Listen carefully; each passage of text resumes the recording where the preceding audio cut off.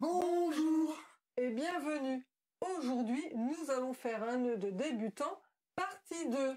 Welcome to the We Talk About Beginner's Knot, part 2. Restez bien jusqu'à la fin, nous vous remettrons les points importants. And the important point at the end. Au fait, Valérie, est-ce qu'on dit C'est pas des tutos? It's not a tutorial. C'est pas des tutos. C'est pas des tutos. Si êtes débutant comme nous, vous allez faire des erreurs et c'est pas grave. Effectivement, ce nœud de débutant ne sert à rien, à rien d'autre que d'essayer, de démarrer, de se tromper et de recommencer. Avant de faire des nœuds, on a quelque chose pour couper les... Avant de faire les cordes... Avant de faire des cordes, on a quelque chose pour couper les cordes. C'est un nœud de débutant, il sert à... Débuter. Nous avons choisi un nœud à une boucle. Justement, pour débuter, c'est simple à faire et facile à retenir. Comme nous sommes débutants, nous ne faisons pas de suspension. Et si vous faites des suspensions, vous savez qu'on ne suspend pas au niveau des articulations. Nous avons fait une vidéo dans laquelle on vous donne quelques bases pour faire le nœud. Par exemple en gaucher et en droitier. On vous conseille d'aller la voir car on ne va pas revenir dessus. Petite chose importante, la main gauche reste à gauche, la main droite reste à droite. On transmet la corde d'une main à l'autre. Effectivement, c'est une erreur courante qu'on fait en tant que débutant, c'est qu'on a souvent tendance à croiser les mains au lieu de croiser la corde et de transmettre la corde d'une main à l'autre. Une petite astuce mnémotechnique. Ne jamais croiser les effluves. Pourquoi? Ce serait mal. On va partir sur la base de notre vidéo dans laquelle on vous conseille de vous entraîner. Donc, on prend notre corde en double, sous la cheville, on a déjà vu tout ça. Je fais mon nœud, ça, ça a déjà été vu. Et là, quand j'ai fait mon nœud, quand je tire, le nœud se transforme et se déforme, c'est normal.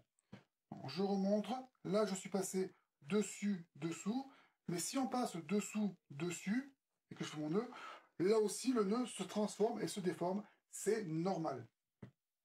Comme vous pouvez le voir, en nœud plat ou en nœud de vache, dans les deux cas, c'est un nœud coulant. Donc on reprend, quand on fait le nœud, que ce soit le nœud plat ou que ce soit le nœud de vache, c'est exactement la même chose. On tire sur le nœud, il se déforme, il se transforme. C'est pas la peine de serrer dessus, on le laisse se déformer, se transformer. Une fois qu'il est déformé, on vient simplement appuyer ici pour le stabiliser. Là, nous avons un nœud coulant stable. Il n'y a pas de suspension, donc on ne va pas le déstabiliser. Dans notre cas, nous sommes débutants, ça suffit largement et il n'y a pas de risque majeur. Nous avons pris les précautions d'usage pour vous dire que c'était un nœud coulant. La première astuce qu'on va vous donner ici, c'est quand on fait le nœud ici, on peut serrer très fort et ça peut faire mal. Donc pour éviter de blesser et de faire mal, voici ce qu'on vous conseille en première astuce. Donc on fait le nœud et au lieu de faire le nœud directement, on va mettre deux doigts ou trois doigts ou un doigt sous la corde, main droite, main gauche. Là-dessus, on n'a pas trop de méthodologie. Vous faites vraiment comme vous le sentez, plusieurs doigts sous la corde. Et ici, on se retrouve effectivement à avoir un petit peu de jeu entre la corde et l'être humain. On déforme le nœud, on stabilise le nœud, et on a bien le nœud coulant avec du jeu dessous. Si vous n'avez pas de partenaire, ou s'il n'est pas disponible, ou si vous ne voulez pas l'embêter pendant vos entraînements. La chaise, ou quelque chose qui ressemble, hein, vous avez compris l'idée? C'est pas une idée de nous, mais quand une idée est bonne, on la partage. De cette façon, vous pouvez vous entraîner à volonté sans embêter personne. Comme vous l'avez vu, Valérie a regardé la caméra plutôt que de regarder ses mains. C'est exactement ça le but de l'exercice. Apprendre à faire le nœud sans regarder. La mémoire musculaire. Lorsque vous serez avec un partenaire pour faire des cordes, eh bien, vous connaîtrez votre geste et vous pourrez euh, le faire sans que ça dure euh, trois heures. Effectivement, c'est pas grave si la chaise ne ressemble pas à un être humain, si ça ressemble pas à une cheville ou si ça ressemble pas à des bras, c'est pas grave si votre nœud est pas bien fait, s'il est un petit peu moche. Le but du jeu, c'est d'avoir la mémoire musculaire, de répéter le geste et de savoir le faire sans regarder. Continue. Vas-y, continue. regarde alors à ce moment-là.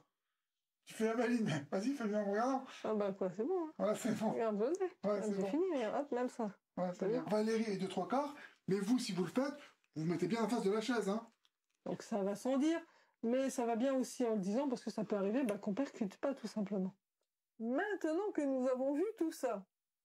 La dernière astuce et la plus importante, la sécurité. Pour la sécurité, nous allons faire un nœud de largage. Un nœud avec une ganse. Je vous montre ça. Donc on fait son nœud normalement. On passe sous la cheville. Je fais mon premier demi-nœud, ma demi-clé. Deuxième demi-nœud, deuxième demi-clé. Au lieu de passer l'intégralité de ma corde en dessous. Je vais venir créer ici une ganse, une boucle, que je vais passer sous mon nœud. Et je finis mon nœud comme ceci, voilà. Et ici, j'ai une boucle ici, une boucle là.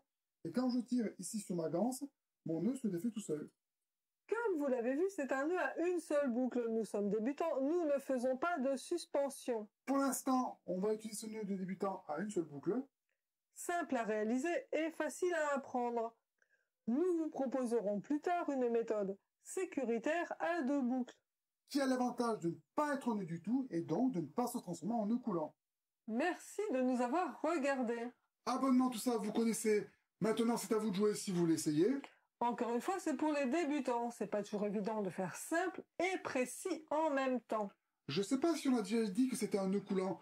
Vous êtes une communauté intelligente et bienveillante. Soyez prudent avec ce qu'on dit.